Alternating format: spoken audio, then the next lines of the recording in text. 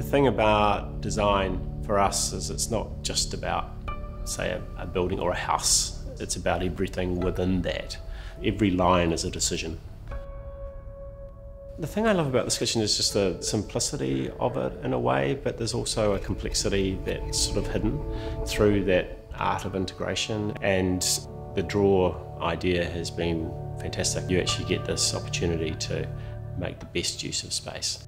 That's in a lot of ways why we like to integrate some things. I mean, there's a way of placement of things within the kitchen that through the refinement of the cabinetry, you can hide things away and allow it to blend into dining and, and into the day room space. And within the integration of a lot of those appliances, just this preciseness as to how we design, how we allow the three mil gap with the appliances, that then gives us the opportunity to use that throughout the kitchen so it becomes a detail.